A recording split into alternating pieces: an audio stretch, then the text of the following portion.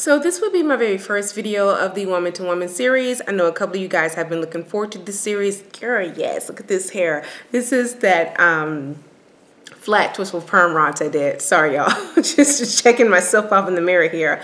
Um, and the Woman to Woman series, I have certain videos that I want to bring to you. However, there may be some videos I may just spring on you guys. I hope you're okay with that. Still trying to figure out a best um, as far as the schedule goes. I think I'm going to bring one to you guys every two weeks or so, depending on my mood.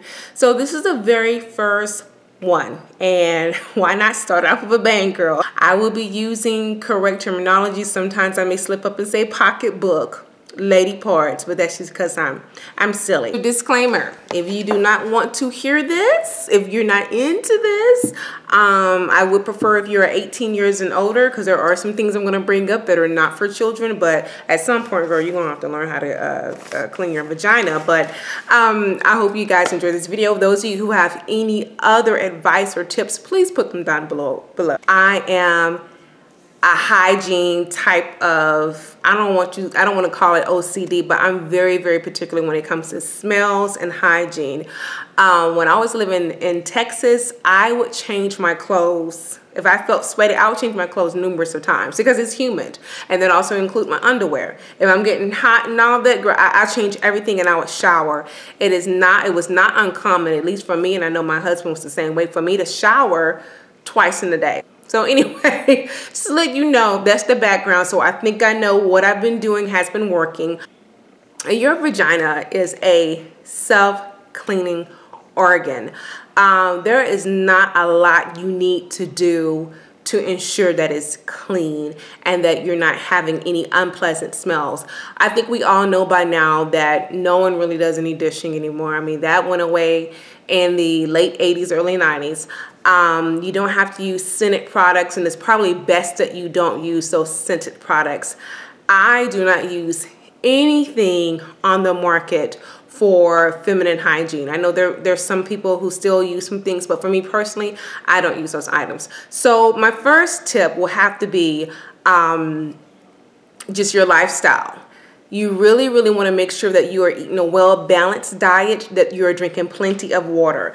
I don't see how people can eat um, a bunch of junk food and don't think that's not going to show up in their face, their, their skin, and their lady parts and how it smells. Like seriously and honestly, I'm not trying to be funny about that. So um, I try to eat a very well-balanced diet. I don't eat a lot of junk food. I'm trying to lay off on the processed food. I don't do dairy at all. Uh, sometimes I'll have a little creamer, but I have switched over to almond creamer, okay? Another thing to point out is that women secrete a little bit more depending on it's before their menstrual cycle or after the menstrual cycle. So any type of vaginal discharge is normal. Is when it starts to smell, changing color, that's abnormal. Okay, maybe there's an infection, um, an STD, an STI. There are certain um, bacterial overgrowth that can cause a scent such as bacterial vaginosis. Um, and also chlamydia is another one that can cause your vagina to smell. When that happens, you need to go see a doctor. And I have heard or read stories of women that have tried all of that and they still have pro problems with the smell. pH, your pH is off.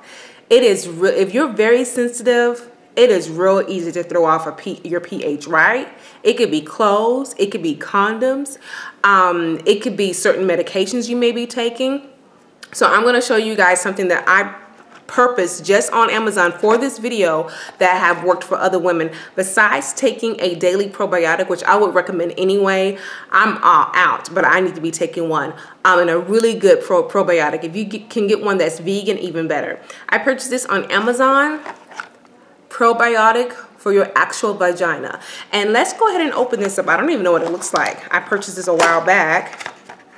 Also, it looks like one of those tubes for like a, um, when you have a yeast infection. So, okay, yeah. And you would just put this in here. Y'all, this is the first time I opened this up, seriously. I guess you would just take one of these tubes, put it in, and insert it into your vagina. Um, and again, this can help with, help with stabilizing your vagina pH, which will help with scent, so extra secretions, and all that. And I will, I will be putting this below in the description box. Um, I've heard of other things such as soaking in, in baking soda, um, putting, uh, I wouldn't do this, but some people have worked, putting yogurt on a tampon and inserting it in your vagina, girl, please no, I wouldn't do it. But apparently, if it works for you, great. Um, apple cider vinegar soaks, um, vinegar soaks of tea tree oil is another one, which I would still be careful with that. Um, so let, now let's get into a little bit more of the hygiene. Besides eating well, you know, taking probiotics when you now have a problem.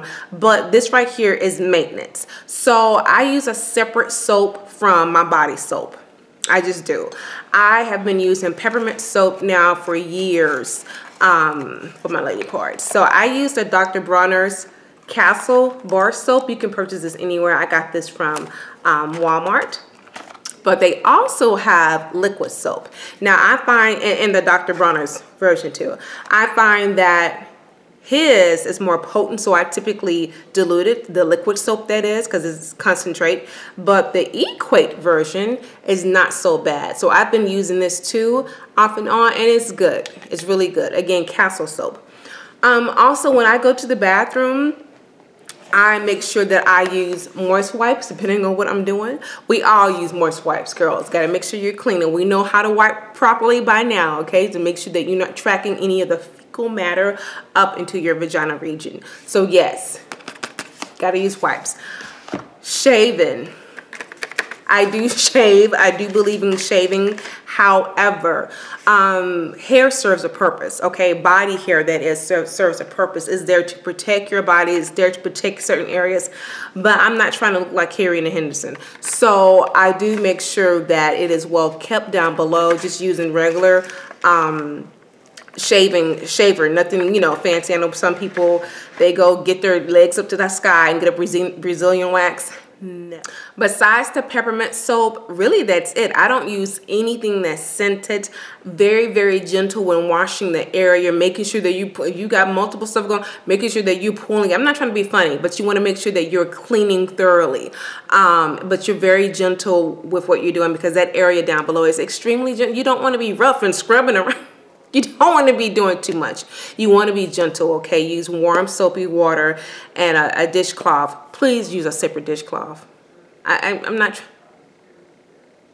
Yes, I use a different, a separate dishcloth or I have separate dishcloths from my body dishcloths. Sometimes I don't even use it at all. As long as my hands are real soapy, I get down below and work it in and we're good. Um, patting it dry. Um, I try not to wear a lot of tight clothes. The only thing tight down below I wear is for church, my stockings, and I immediately take those off. Um, a few days out of the month, I go bottomless at night to let her breathe because that's just that's just how I am, you guys. That's just my tip for me personally. Um, I know in other countries I've heard of vaginal steaming, and I once saw a documentary, and I think I want to say it was in Ethiopia where a woman had squatted over a almost like simmering fire of different herbs and she was steaming her vagina which is very it was very interesting to see that um as far as underwear go it may not be cute, it may not be sexy, 100% cotton. I'm not having anything up in my butt, you know, no G strings or nothing. I mean, now after 10 o'clock when we want to play, okay, but doing everyday wear, I'm not wearing no thong. I'm not wearing no G string. I'm not wearing anything that's tight. I'm wearing loose Fruit of Loom panties, draws. That's what I'm wearing. Sorry. I try to keep this as professional as possible. But yes, that's for those of you who do wear underwear, because I know there's some women who don't, that 100% cotton is the way to go. And again, um, sometimes I will wear a panty liner in between the months, in between the days of the month, depending on um, any type of vaginal discharge, which is again very normal. It's when it's a different color and this has a smell to it. Um, and this is mostly after my menstrual cycle for me, for me personally.